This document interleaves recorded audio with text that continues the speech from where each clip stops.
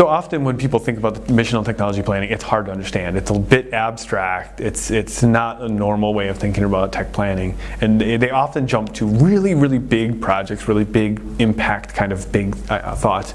Like an example of that would be like Ushahidi, I think is the name of the tool, where they uh, did a lot of mobile phone work and matched. What they were able to do is match where a person was, the need they have, and then identify where the closest place was where they could get that need met. So if they needed medical or if they needed water or if they needed, so it was really tech driven, very mission driven, very right on spot with what they were trying to finish and do. But that was really tech heavy because it was a big, big project to develop the app, test the app, get it out there, get it implemented. It doesn't have to be that big.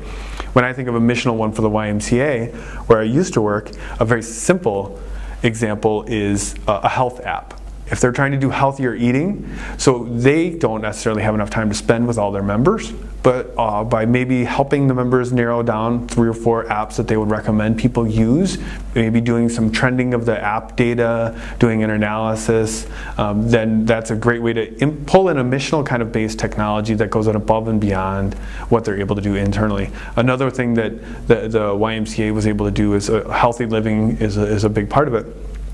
So building an online community where members could support each other in their health goals. So that's a very simple missional tech. It's it's above and beyond what would be part of a strategic plan because that's not in support of work. It's not in support of a staff role. It's not. It, it may not be tied directly to, to a strategic goal. Uh, my organization, the the big thing is, we our mission statement has a part in it that we say it's about lasting change in workforce development. So we don't want to get them a job. We want to get them a job and have them keep the job. And having been in the job market long enough, we analyzed that and thought it through, and we said the only way you can keep a job and keep growing is to continue learning once you've left the CARA program.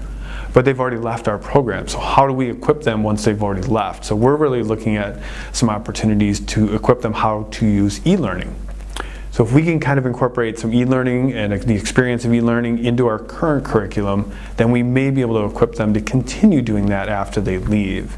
And I think so. It's the missional tech planning it, it, it is abstract and weird, but what you really do is you just look at your mission statement, pick out key phrases that extend beyond the reach of what you're able to do, and then kind of match that with emerging technologies that are out there. You know, the, the, little fun activity that we're going to do in the session is that we're going to give you a mission statement, and then we're going to give you these little cards that have mobile, website, those kind of things on it, and then you'll be matching them, and then you'll have to kind of brainstorm. Oh, how can I use this tech to meet the mission need? Um, yeah, so that's missional.